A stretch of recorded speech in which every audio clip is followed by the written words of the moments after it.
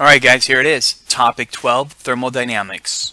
We're going to be talking about um, energy and chemical reactions. And it reminds me of some advice my father gave me when I was younger. He said, you know, always fight fire with fire. That might be why he never became a firefighter. Might be. I don't know. Anyways, thermodynamics. Let's talk about that, uh, shall we? So, um, thermodynamics, we have two laws in thermodynamics. The first law of thermodynamics is that um, energy is conserved. So it's the conservation of energy is the first law of thermodynamics. And here we've got a little illustration of that. A lady's on a bicycle. She's using chemical energy to make her muscles move, which is move, and the movement is kinetic energy. She's transferring that through mechanical energy. She's turning she's she's turning the gears here through a chain, turning a wheel, which is turning a um, motor, which is uh, spinning a magnet in here with wires wrapped around the magnet, um, and that's moving electrons, so turning that into electrical energy. And that electrical energy is then powering this projector that says energy conservation. Anyways, um, the point of this is is that energy is being um, neither created nor destroyed. So Energy is neither created nor destroyed. Energy of the universe is constant. Energy can be converted in chemical processes. So what we see here is a lot of conversion of energy, um, but energy itself is neither created nor destroyed. The energy of the universe is constant. That's the first law of thermodynamics. The second law of thermodynamics is that if a process is spontaneous in one direction, then it cannot be spontaneous in the reverse direction. So let me give you an example with something that might be a little more relatable. If we take some table salt, if we take table salt, which is solid sodium chloride, that S represents solid, and we put it in water, then it dissolves. We notice that spontaneously the salt disappears. So how we represent that would be AQ means aqueous. So solid sodium chloride turns into sodium ions and chloride ions. They're dissolved in water, and that's what this aqueous means. It's no longer a solid, it's something that's in a solution. So solid table salt will spontaneously dissolve into ions when added to water. The second law of thermodynamics would say that the opposite is not true, that if we have solution of sodium ions and chloride ions, in solution it doesn't spontaneously form a solid, a sodium chloride, which this would be um, an example of a precipitate. Sodium and chloride do not make a precipitate of sodium chloride in solution. If you remove the water, that can happen, but that's not spontaneous. It's going to cost energy to remove the water. When you remove the water, the salt um, the salts will come together, and that's why you get that residue in fountains and stuff like that when water uh, removes, and the salts will come together. Okay. I love vocabulary. Okay. Certain reactions release heat, while others absorb heat. So sometimes reactions release heat and sometimes reactions absorb heat. Easiest thing I think we can all relate to is hot and cold packs. In a hot pack, um, when we activate a hot pack, it releases heat. And in this situation, we have iron reacting with oxygen to produce iron 3 oxide, and it's releasing heat. In this KJ, uh, this is kilojoules, and joules is a measurement of energy. So we're talking about the energy released in, in the form of heat um, in a hot pack, whereas in a cold pack, um, to break down ammonium nitrate to, into the ions, the aqueous solution of ammonium ions and nitrite ions, um, it requires heat. So heat in this situation is a reactant. It requires heat for this to happen. If there is no heat available, this reaction doesn't happen. Whereas opposite is true in a hot pack that when this reaction happens, one of the products is heat. So if you're on the outside, this heat is going towards you in a hot pack, a warm pack. And if you're on the outside um, and you're letting this touch you, heat is leaving you and going into this system, and therefore you're losing heat and you're feeling cold. And that's what we call a cold pack. so talking about the first law of conservation of energy is law um, um, is that energy cannot be created nor destroyed. So when we talk about this, um, energy of a system plus the surroundings is the universe. So when I mean energy cannot be created nor destroyed, is that the universe is not gaining or losing energy. Because you might think, okay, if I've got some ice that's melting, um, it's certainly gaining energy. When the ice melts, it's taking energy and it's and it's gaining energy. So how can that be true that energy can't be created nor destroyed? Because I see that ice melting is a, is an example of gaining energy. Well, what I'm talking about here is that the ice in this example would be the system. Um, the ice is the system, and the surroundings would be losing energy to warm the ice. So in the case, in this case, the system can be defined as the ice. So that's the, the system. And the surroundings may be defined as the hot plate, the air, and the remainder of the whole universe. Everything in the universe besides this ice is the surroundings. Since the universe doesn't gain or lose, the energy that the system got, that the ice got, was the energy that the surroundings lost. And overall, the universe will never change um, its overall energy. And that's the first law of thermodynamics. So the energy gained to the water is equal to the energy lost by the surroundings. Enthalpy is not something we can measure. We cannot measure the actual energy or enthalpy of a substance. We can measure the mass of something or the length of something or the density of something or the temperature of something, but we can't measure the enthalpy of something. We don't have like a, an enthalpy balance. But when we have a reaction, we can we can measure the change in enthalpy. We can measure how much energy was released in heat and how much of the substance reacted, and that's what enthalpy is all about. So we can measure the change in enthalpy, but not the enthalpy itself. Uh, and that is the heat released or absorbed in chemical reactions. That's what enthalpy is. so here's our example again with a hot pack. In the hot pack, we have um, iron reacting with oxygen to produce the iron 3 oxide, and it's also producing energy, 1625 kilojoules of energy. Hopefully you guys remember these symbols, but let's go over it again. This triangle is represented, it's called a delta. So the delta H, or the, and delta means change, the change in enthalpy in RxN, we have to de- we have to designate what are we talking about. Are we talking about the universe? Are we talking about a system? Are we talking about surroundings? I'm talking about the change in enthalpy for this reaction. RxN is representing this reaction here. So the change in enthalpy for this reaction is negative 1,625. So take a look at this. Why does it say negative here? Well, the iron and the oxygen lost energy. See, this is a product. So since it lost energy, it's negative.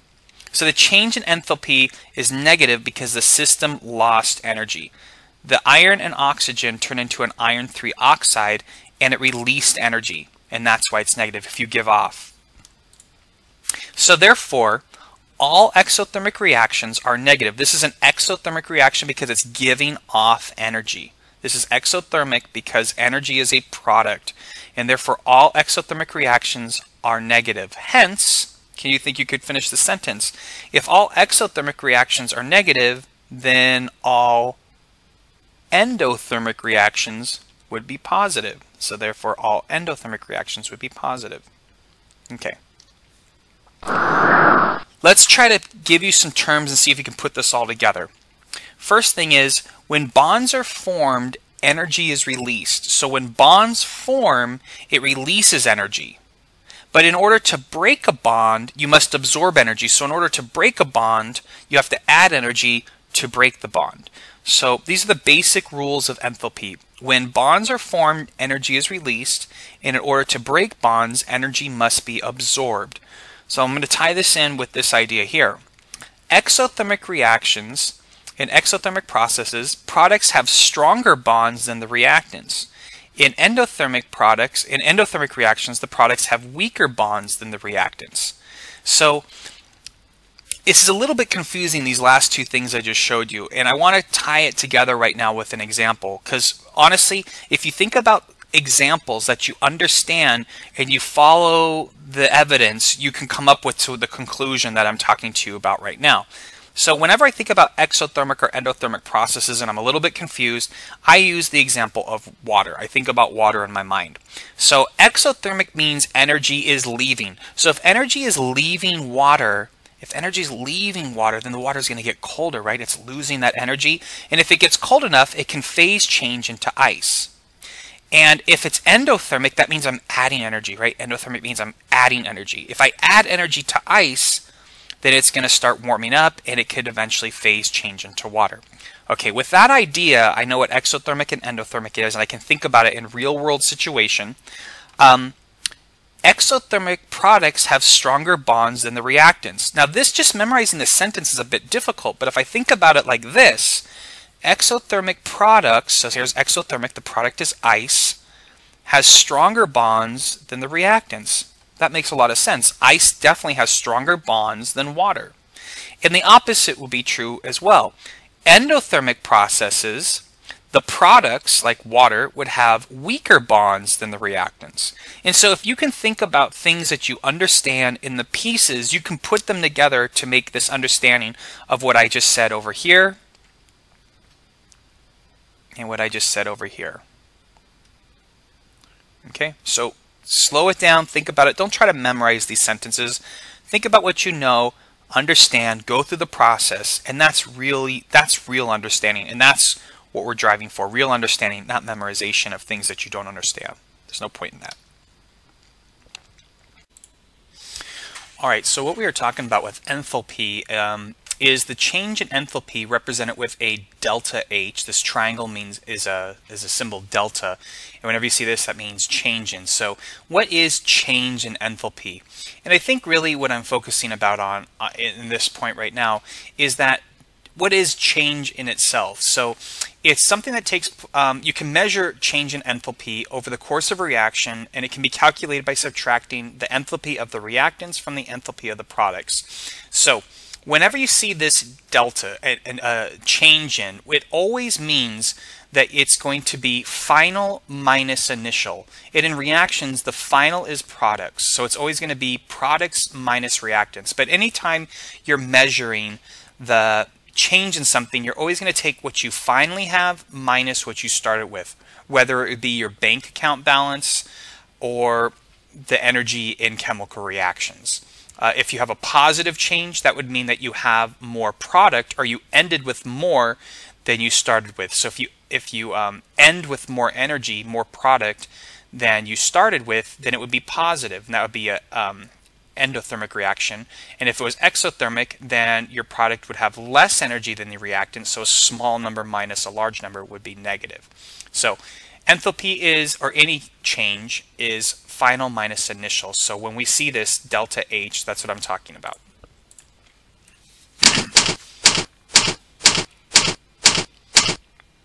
This is an energy diagram, and there's some important concepts that I need you to understand here because I might ask you on a test or quiz to either draw one if I give you a chemical rea um, reaction, or I might ask you to um, interpret things from it. So one thing you're going to notice is the reactants, here's the reactants, and this is the, the reaction for the heat pack again. Uh, the reactants are always going to be to the left, and the products will be to the right. So if you take a look, the reactants are more left and the right.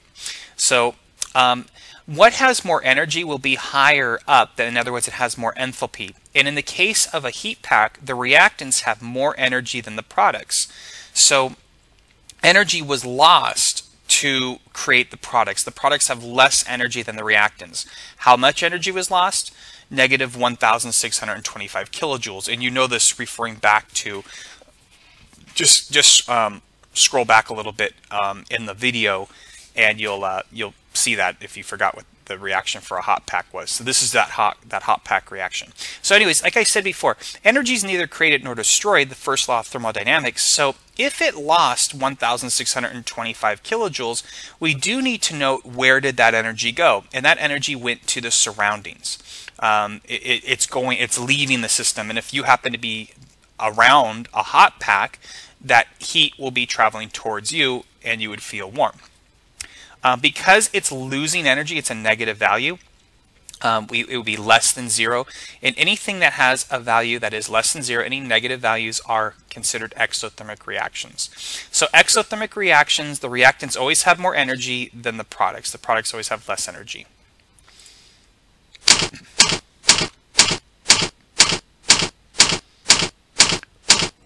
This is an energy diagram for my endothermic reaction. In the endothermic reaction, we had ammonium nitrate Uh, that was the reactant, and we open it up uh, or expose it to water, and it becomes ammonium and nitrate ions, and it required energy for this to happen. In other words, the product now has more energy than the reactants.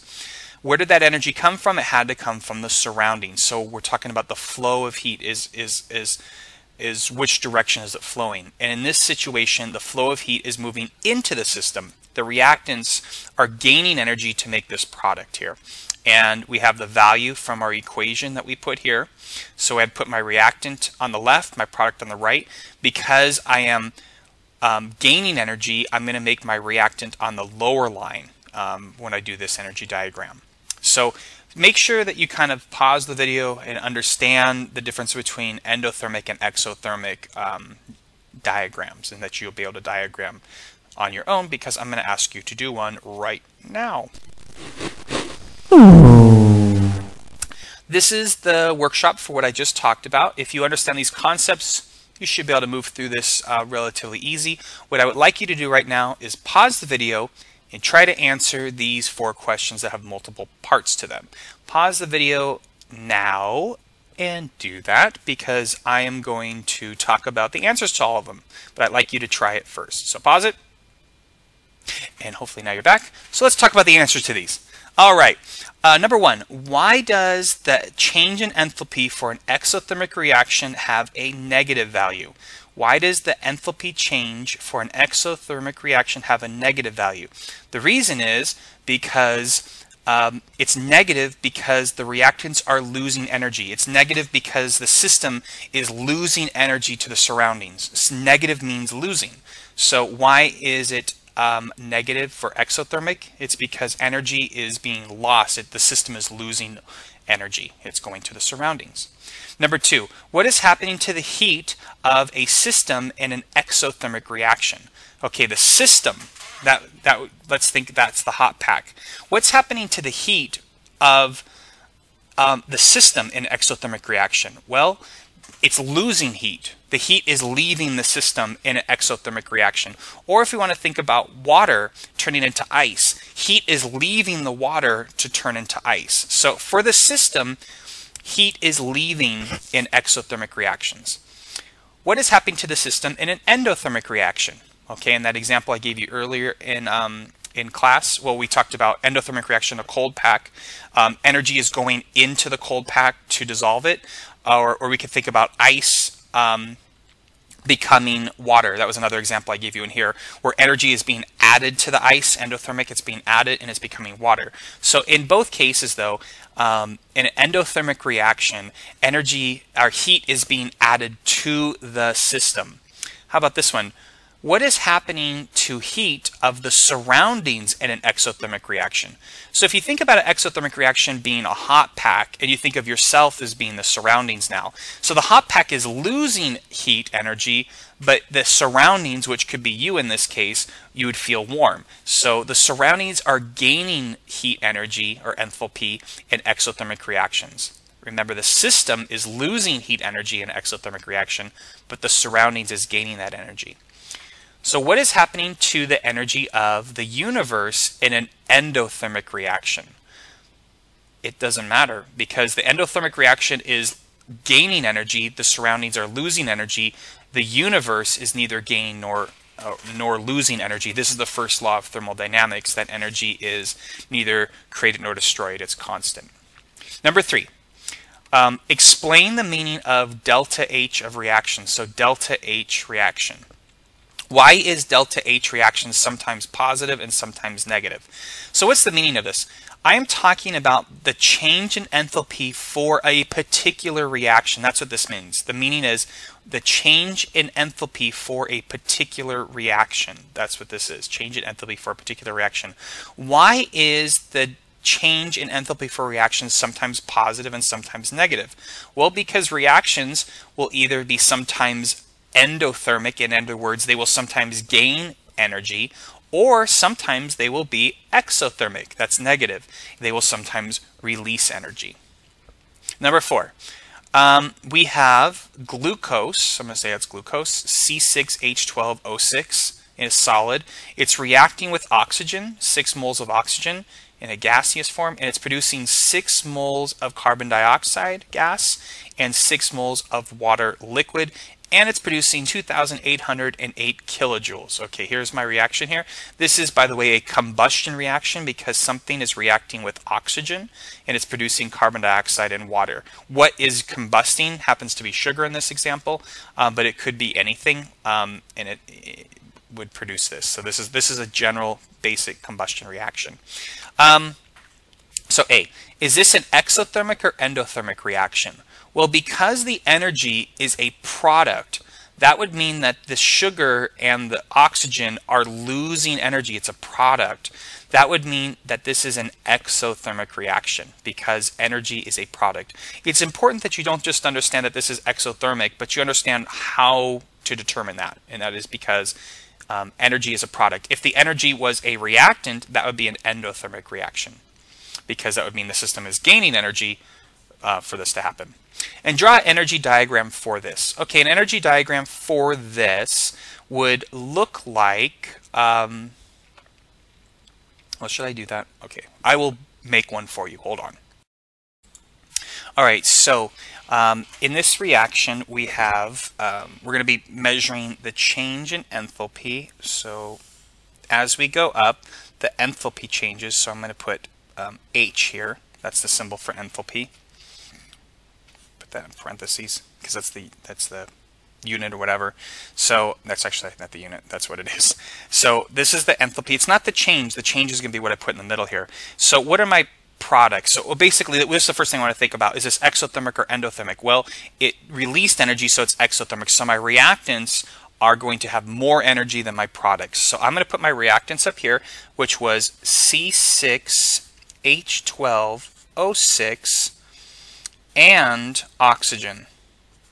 These were my reactants.